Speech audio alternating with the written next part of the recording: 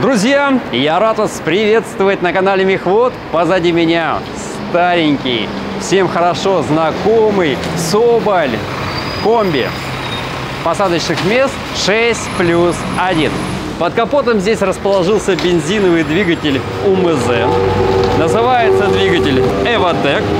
Маркировка А275. Это УМЗ А275. Мощность двигателя 106 лошадиных сил. Объем двигателя 2,7 литра. Повторюсь, что это бензин.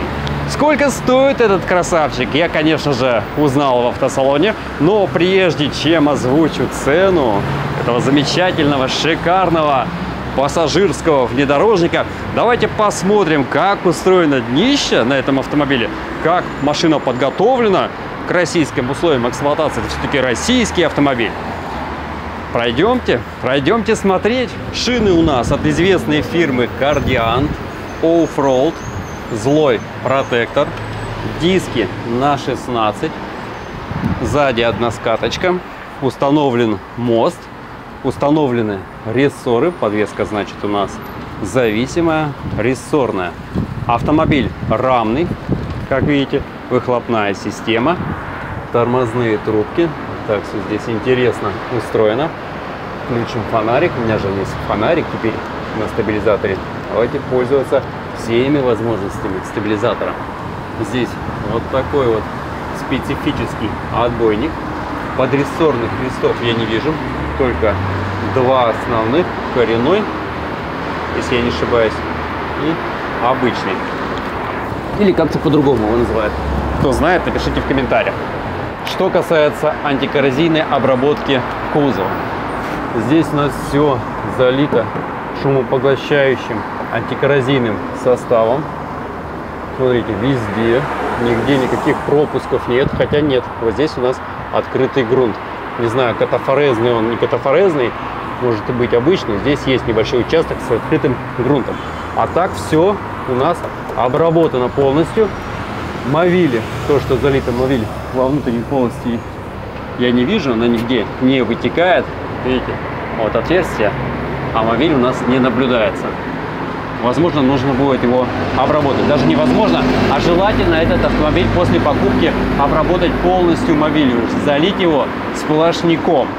Здесь у нас расположилась раздатка, она двухскоростная, есть повышенная передача, есть пониженная передача. Принудительно подключается передний мост, задний мост гребет постоянно.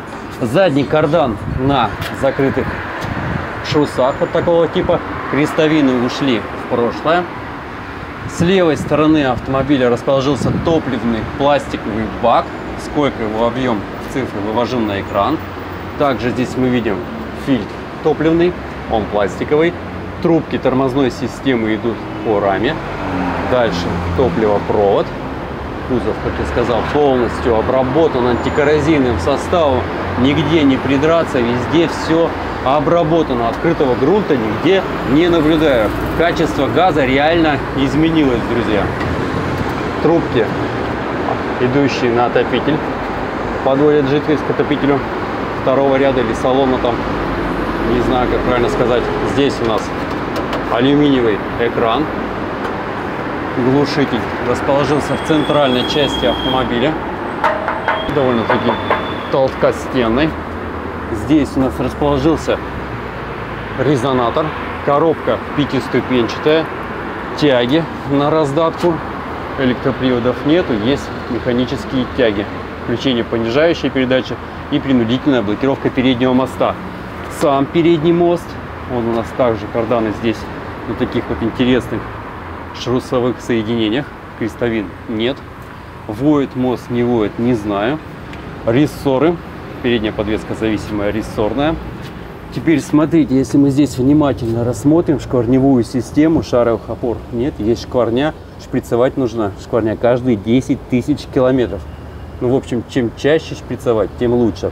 В отличие от УАЗа, здесь мы видим кардан на крестовинах. Шруса нет. Не знаю, насколько это надежно. Вот установить вот такую вот крестовину, до которой не добраться. Или поставить шрус. Что надежнее, друзья, напишите в комментариях. Вот такое соединение на крестовинах либо вот на таком вот шрусе. Теперь, что интересно, коробка пятиступка. Здесь у нас закрыт картер сцепления, цилиндрик. И теперь, внимание, поддон на двигателе. Сейчас видно, не видно. Вот так сделаю. Поддон пластиковый, друзья. Представляете, да? Машина предназначена для эксплуатации по бездорожью.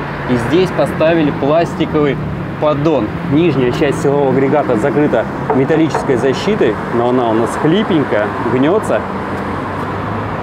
Защита проклеена вибропластом. Если постучим, то шум гасится. Однако поддон пластиковый.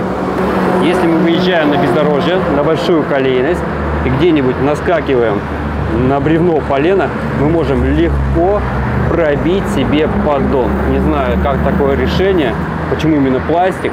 На мой взгляд, металлический поддон намного лучше. В общем, друзья, вот такое вот днище на Соболе комби. Соболь у нас шестиместный и плюс один водитель, то есть всего 7 посадочных мест. Все обработано, все промазано. Это уже абсолютно другой автомобиль, нежели раньше. Как считаете, вот такой вот полноприводный автобус стоит 1 миллион 800 тысяч рублей или не стоит? Напишите в комментариях. Ушел в комментарии отвечать на ваши вопросы. До новых встреч!